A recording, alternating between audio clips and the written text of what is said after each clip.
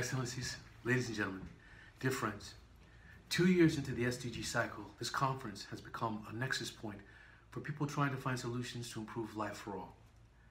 I'm delighted to see representatives of governments, civil society, business, academia, and NGOs come together to find solutions for our world's most pressing challenges under the SDG platform. The International Conference on Sustainable Development has become a rendezvous for those wanting to reflect on sustainability and explore innovative solutions.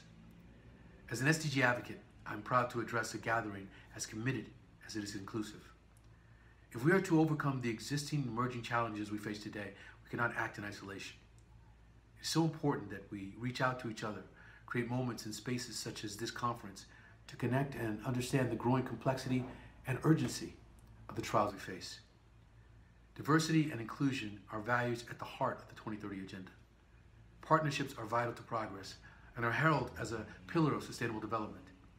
These values of diversity, inclusion, and partnership underpin the most important enabler of sustainable development peace. The Millennium Development Goals have taught us that no country or province directly impacted by armed conflict could meet the development goals.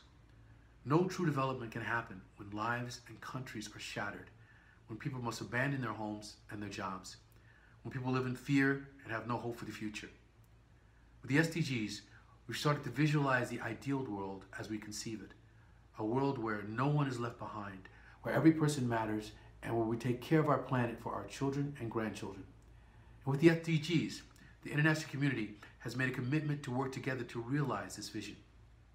We're witnessing a sea change in ideology and positive shift in thinking.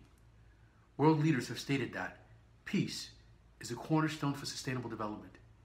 And the 2030 Agenda, however, isn't just the absence of conflict. It calls for mutual trust, people centered and effective institutions, dialogue amongst officials and communities and individuals. The foundations of lasting peace and sustainable development are one and the same. We must stand united in our prevention and reconciliation efforts. Reconciliation, in particular, is a demanding process. Work can only begin after the peace agreements have been signed. The painful wounds and memories of conflict are still alive for many, but we must be bold in these times. To say that we must build a future of peace and harmony, that development must be for all to be sustainable, this is justice. Last year, Mr. Juan Manuel Santos, President of Colombia, received the Nobel Peace Prize when he had the courage to declare his vision for peace. It takes courage to champion a future so truly different from the present. The world in 2050 will be very different from the present, but there is one thing that we can predict with certainty. It is that the young women and men of today will have grown into the caretakers of tomorrow. This sense of responsibility for future is really among the young women and men of this world.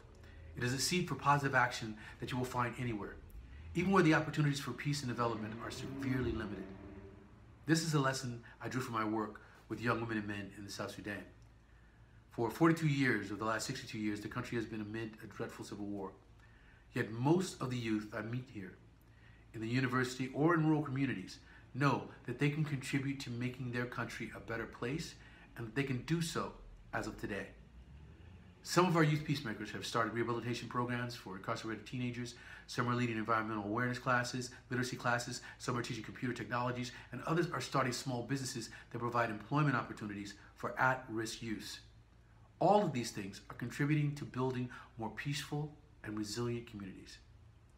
We cannot wait until 2030 or 2050 to pass the baton of sustainable development to young people. By amassing their collective knowledge for energy for the singular purpose of harmony, the youth have the power to create the light of peace in every corner of our world.